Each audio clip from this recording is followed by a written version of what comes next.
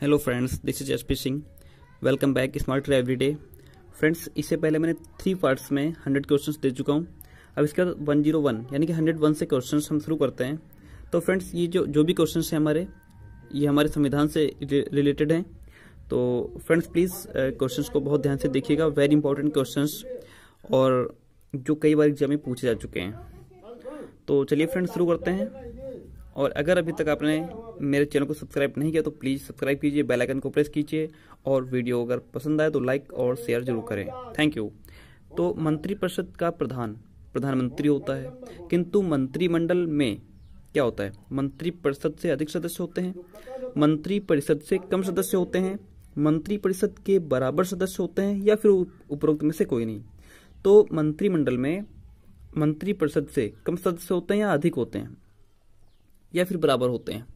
तो इसमें जो है मंत्रिपरिषद से कम सदस्य होते हैं। ठीक है? Answer B is the right answer next है कि संविधान के अनुसार संघ की कार्यपालिका शक्ति निहित है किसमें? प्रधानमंत्री में, संविधान में, राष्ट्रपति में या फिर संसद में? किसमें निहित होती है? तो यह राष्ट्रपति में निहित होती है। संविधान के अनुसार संघ की कार्यपालिका शक्ति राष्ट्रपति में निहित है। किसे महाभियोग द्वारा हटाया जा सकता है? राज्यसभा का सभापति को, महान्यायवादी को, महालेख परीक्षक को या फिर राज्यपाल को? तो महाभियोग द्वारा किसको हटाया जा सकता है? महाभियोग द्वारा महालेखा परीक्षक को हटाया जा सकता है। नेक्स्ट है कि राष्ट्रपति को उसके कार्यकाल की समाप्ति से पूर्व केवल महाभियोग प्रक्रिया से ही हटाया जा सकता है। यह महाभियोग प्रस्ताव संसद के किस सदन में रखा जा सकता है? संसद की संयुक्त बैठक में, लोकसभा में, संसद के किसी भी सदन में या फिर राज्यसभा में? तो इस महाभियोग प्रस्ताव यह जो महाभियोग प्रस्ताव है, संसद के किस सदन में रखा जा सकता है? तो इसको हम संसद के किसी भी सदन में रख सकते हैं। Answer C is the right answer. कौन अपनी सेवानिवृत्ति के बाद भारत सरकार या किसी राज्य की सरकार के अधीन किसी लाभ के पद पर पुनः नियुक्ति के लिए अपात्र हो जाता है। तो लोकसभा का अध्यक्ष, महान्यायवादी या फिर नियंत्रक या महालेखा परीक्षक या महाधिवक्ता। तो इसमें आपको बता दें कि जो नियंत्रक या महालेखा परीक्षक होता है, वह अपात्र हो जाता है। उपराष्ट्रपति को उसके पद एवं गोपनीयता से संबंधित शपथ निम्नलिखित में से कौन दिलवाता है? राष्ट्रपति भारत का मुख्य न्यायाधीश, महान्यायवादी या फिर राज्यसभा का अस्थायी सभापति। तो उपराष्ट्रपति को उसके पद और गोपनीयता से संबंधित शपथ राष्ट्रपति दिलवाता है। नेक्स्ट क्वेश्चन है, अनुच्छेद तीन सौ बावन के तहत घोषित आपात की उद्घोषणा के दौरान राष्ट्रपति को निम्नलिखित में से कौन सा अधिकार प्राप्त नहीं होता? वह मूल अधिकारों का निलंबन कर सकता है यह राज्य सरकारों को कार्यकारी एवं वित्तीय कार्यों से संबंधित बाध्यकारी निर्देश दे सकता है। वह भारत की आकस्मिक निधि में से व्यय की अनुमति दे सकता है। वह लोकसभा और राज्यसभा को भंग कर सकता है। तो इसमें आंसर डी सही है कि वह लोकसभा और राज्यसभा को भंग कर सकता है। क्या राष्ट्रपति सर्वोच्च न्यायालय द्वारा दिए गए परामर्श को मानने के लिए बाध्य है? क्या राष्ट्रपति सर्वोच्च न्यायालय द्वारा दिए गए परामर्श को मानने के लिए बाध्य है? केवल मौलिक अधिकारों के संबंध में दिए गए परामर्श को मानने के लिए बाध्य है यह सभी मामलों में? या फिर संविधान के मूलभूत ढांचे से संबंधित परामर्श को मानने के लिए बाध्य है या वह बाध्य नहीं होता है? तो इसमें आंसर डी, वह बाध्य नहीं है। राष्ट्रपति शासन का क्या प्रभाव नहीं पड़ता? तो राष्ट्रपति शासन का प्रभाव उच्च न्यायालय के अधिकारों को राज्यपाल सीमित कर सकेगा। राज्य का बजट संसद द्वारा पास किया जाएगा। राज्य का शासन राज्यपाल और उसके सलाहकारों द्वारा चलाया जाएगा। राज्य की विधानसभा निलंबित या भंग हो जाएगी। तो इसमें आंसर ए उच्च न्यायालय के अधिकारों को राज्यपाल सीमित कर सकेगा।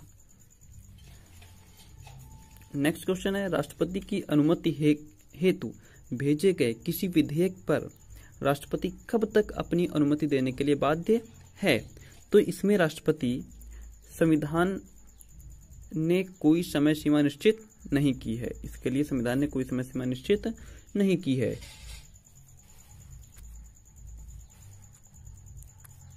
नेक्स्ट है कि किस सूची के विषयों पर राष्ट्रपति अध्यादेश जारी नहीं कर सकता?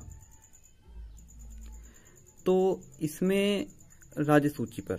राज्य सूची के विषयों पर राष्ट्रपति अध्यादेश जारी नहीं कर सकता। राज्य सूची, यानी कि आंसर बी मंत्रिमंडल की बैठकों की अध्यक्षता कौन करता है? तो मंत्रिमंडल की बैठकों की अध्यक्षता प्रधानमंत्री करता है।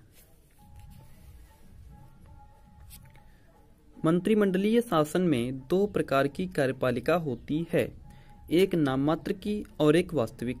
इन दोनों का क्रमशः उत्तरदायित्व किसके प्रति है? तो इन इन दोनों का उत्तरदायित्व अनुत्तरदायी और संविधान के प्रति, संविधान और संसद के प्रति, अनुत्तरदायी और लोकसभा के प्रति या फिर जनता और संसद के प्रति।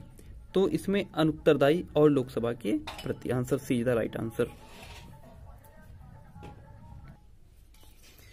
Next question है कि क्या राष्ट्रपति राज्यपाल को उसके पदावधि से पूर्व पदच्युत या किसी अन्य राज्य में स्थानांतरित कर सकता है? नहीं हाँ केवल आपातकाल में या राज्य के मुख्यमंत्री के अनुरोध पर तो वह स्थानांतरित कर सकता है। हाँ।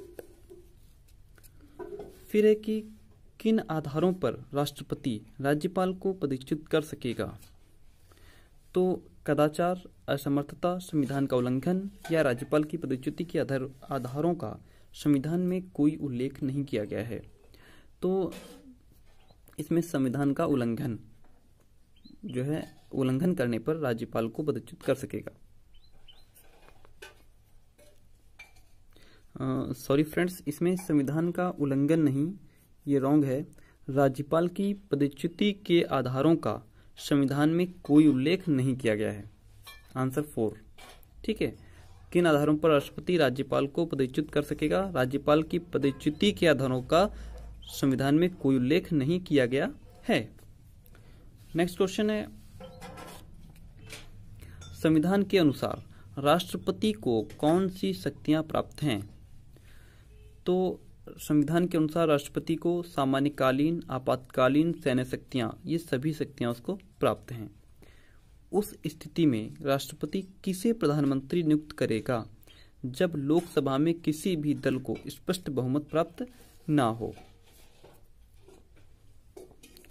राज्यसभा में बहुमत दल के नेता को संसद में बहुमत दल के नेता को, या सबसे बड़ी पार्टी के नेता को, या फिर अपने विवेक का प्रयोग कर उस व्यक्ति को जिसे वह समझे कि उसे लोकसभा का समर्थन प्राप्त हो जाएगा। तो answer D the right answer. वह उस उस टाइम राष्ट्रपति अपने विवेक के प्रयोग प्रयोग कर उस व्यक्ति को जिसे वह समझे कि उसे लोकसभा का समर्थन प्राप्त हो जाएगा, वह उसे चुन सकता है, नियुक्त कर सकता है। जिस व्यक्ति का नाम प्रधानमंत्री ने न सुझाया हो, उस व्यक्ति को क्या राष्ट्रपति मंत्री के पद पर नियुक्त कर सकता है? नहीं कर सकता है। किसकी नियुक्ति राष्ट्रपति नहीं कर सकता? राज्य लोक सेवा आयोग के अध्यक्ष की, उच्च न्यायालय के न्यायाधीश न्यायाधीश की, निर्वाचन आयोग के सदस्यों की या नियंत्रक एवं महालेखा परीक्षक की? तो इसमें राज्य लोक सेवा आयोग के अध्यक्ष की जो है नियुक्ति राष्ट्रपति नहीं कर सकता।